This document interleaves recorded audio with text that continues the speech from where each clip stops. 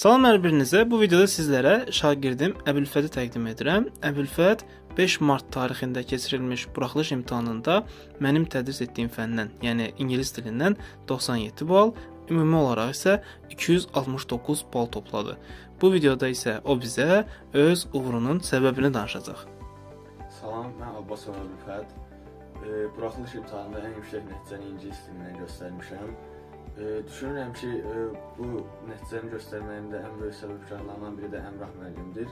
E, çünki mən onunla müəllim-şagird münasibətindən daha çox e, dostluq münasibətində idim e, və bu mənə onda kömək elədi ki, e, öz problemlərimi, səhvlərimi e, Əmrah müəllimə daha rahat deyə bilirdim.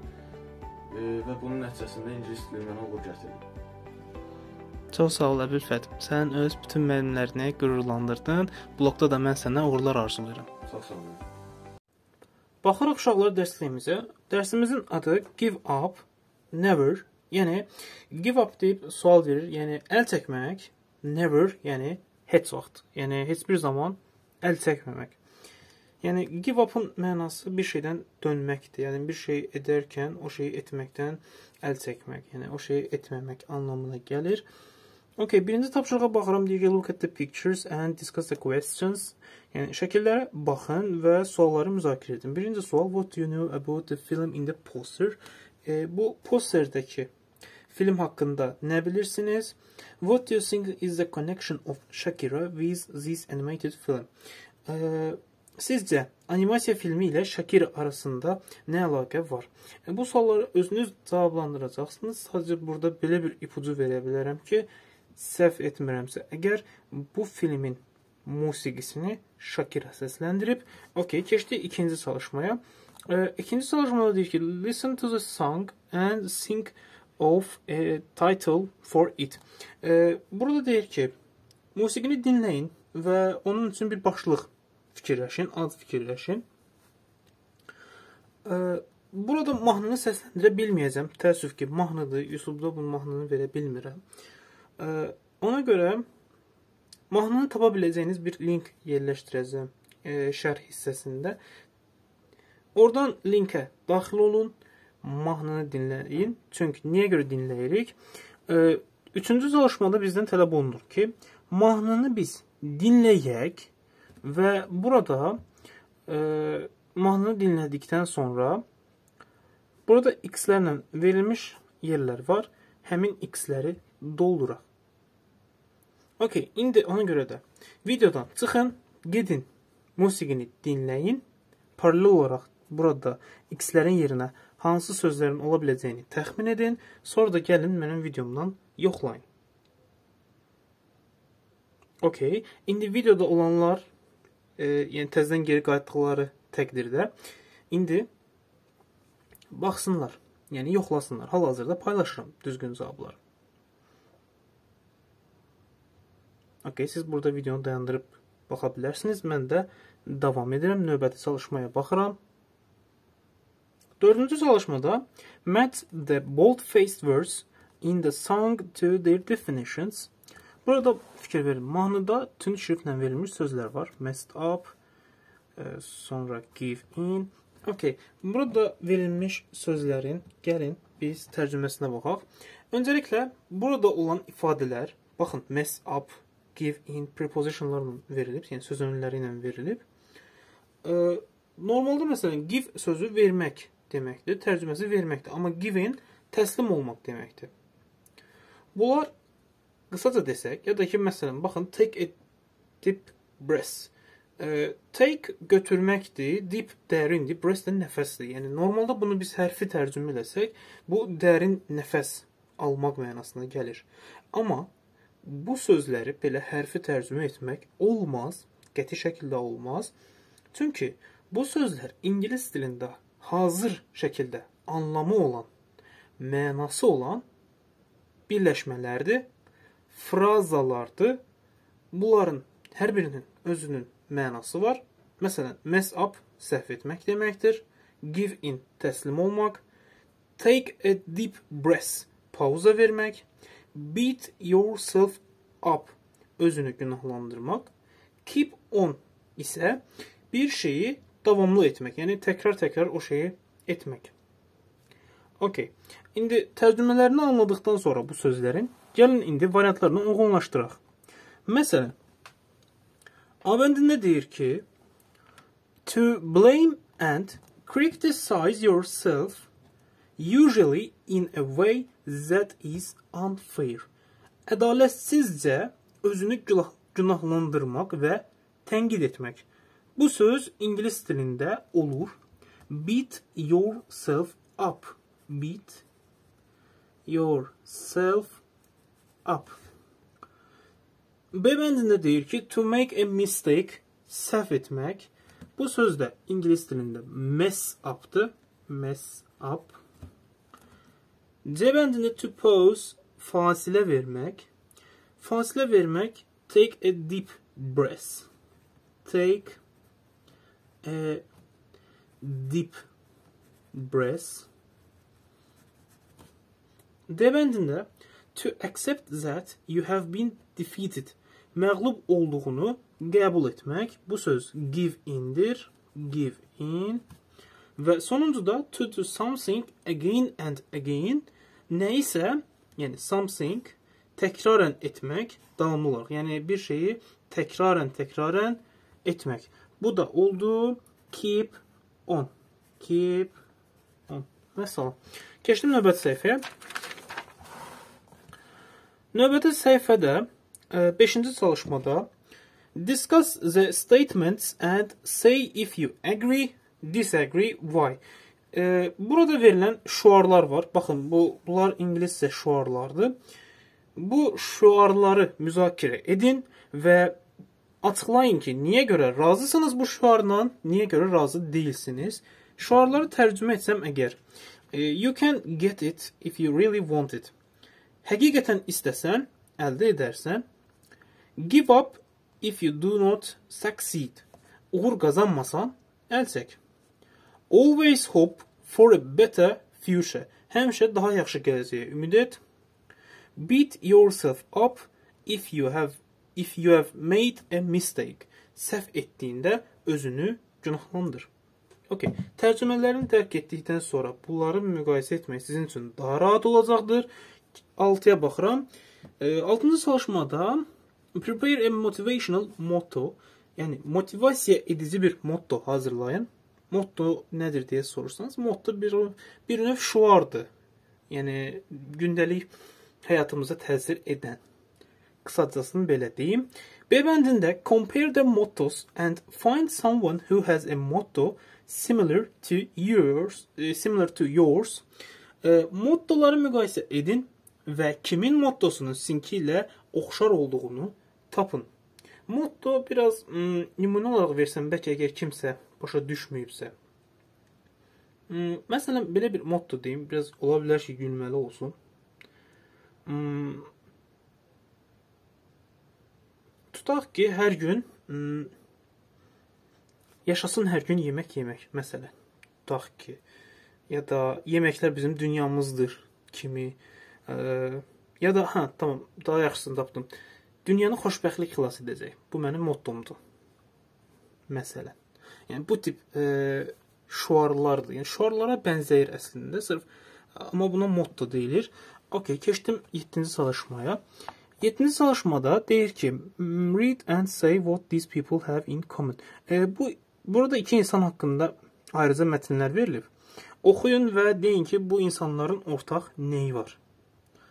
Bəri başdan deyə bilərəm ki, mətni oxumamışam. Dərsimizin adı give up-dır. Özü never, yəni heç vaxt əl çəkməmək. Yəqin ki, bu insanların da ortaq zəti o olacaq ki, bu iki insan heç bir zaman əl çəkmir.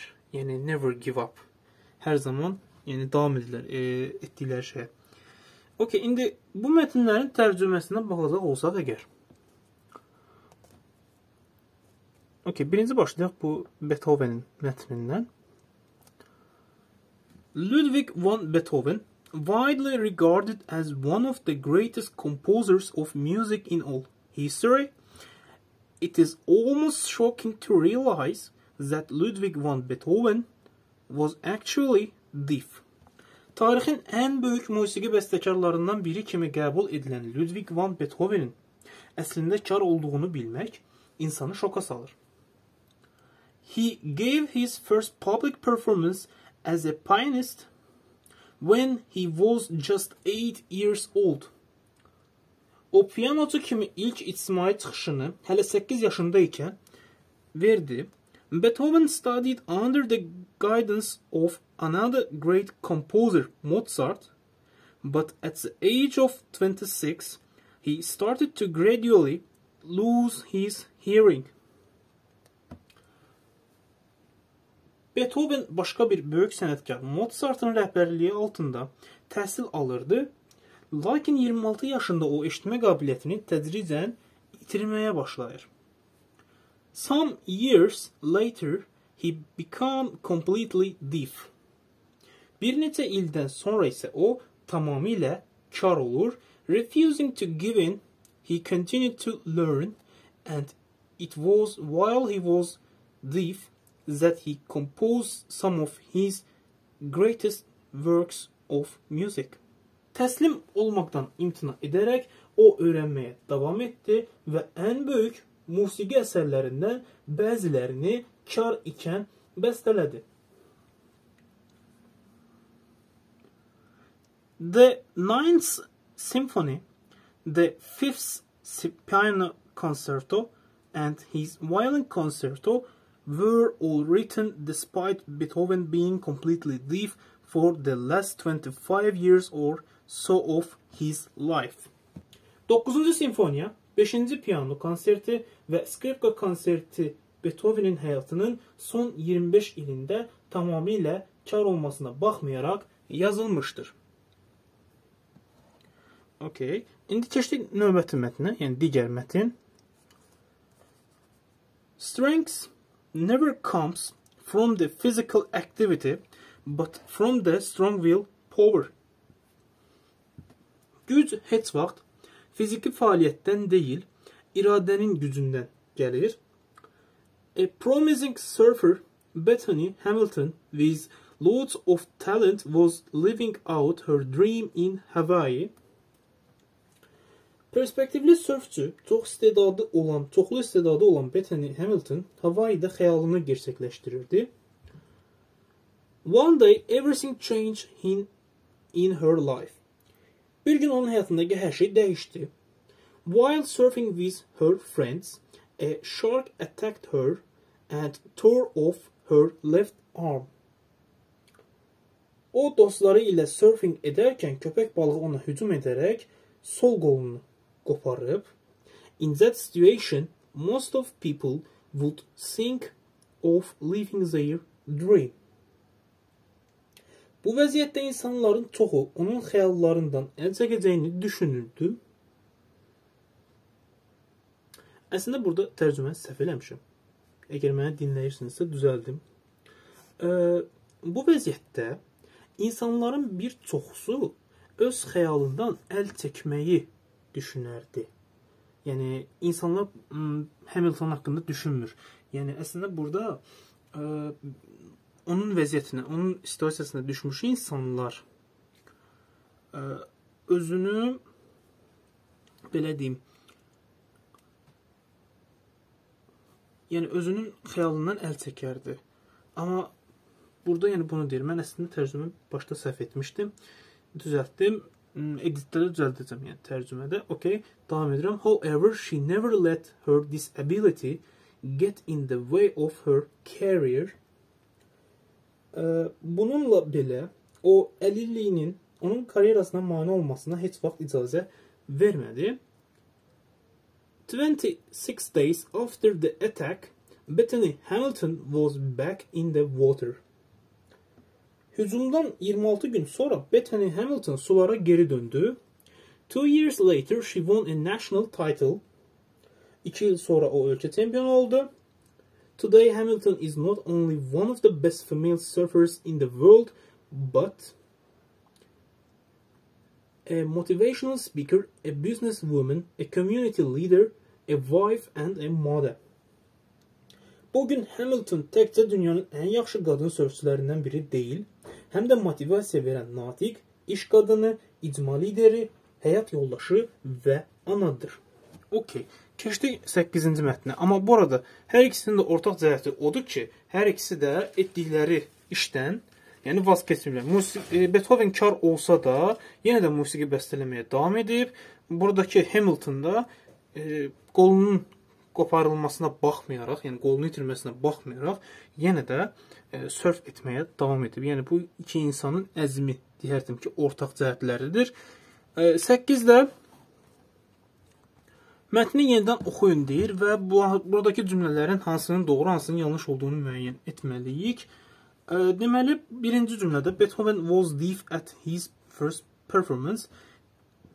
Beethovenin deyir ilk çıxışında kar idi. Bu yanlışdır. Çünki ilk çıxışında 8 yaşı var idi, amma adam 26-sından sonra kar olmağa başlamışdı. İkinci də 26 yaşında Beethoven deyir tamamilə kar idi. Bu da yanlışdır. Çünki 26 yaşında kar değildi. 26 yaşdan sonra kar olmağa başlayır. Ee, 3-də Bethany was attacked by shark at the competition. Hə. Deyir ki, bu Bethany'yə yarışda ikən, yarışda ikən köpək balığı tərəfindən hücum oldu. Bu da yanlışdır və sonuncuda e, köpək balığı hücumundan sonra deyir ki, bir aydan deyir e, daha az bir müddətdə Betini təzədən deyir sörf etməyə başladı. Bu da doğrudur. Yəni bir aydan az müddət burada çünki 26 gün deyir. 30 gündən az olduğu üçün doğrudur. Və sonuncu tapşırıqda think of a person who never gives up and tell about him her to your group mates. Və burada sonuncuda da deyir ki, heç vaxt əl çəkməyən bir insan haqqında düşünün və sinif yoldaşlarınıza da onun haqqında düşünün, e, danışın. Bunun haqqında da məlumatları internetdən tapa bilərsiniz. Bu videodan bu qədər. Videomu bura qədər izlədiyiniz üçün hər birinizə təşəkkür edirəm. Video haqqında fikirlərinizi şərh bölməsinə yazmağı unutmayın. Videonu bəyəndiysəniz bəyənin və öz dostlarınızla da paylaşın ki, onlar da bizim sayəmizdə dərslərində daha yaxşı olsunlar və əgər istəsəniz burada başqa bir videom var. Burada isə e, hal-hazırki sözü gedən videonun playlisti mövcuddur. Kanala da abunə olmaq istəsəniz bu yumruğun üstünə basıb abunə ola bilərsiniz. Sağ olun, növbəti videolarda görüşənə qədər.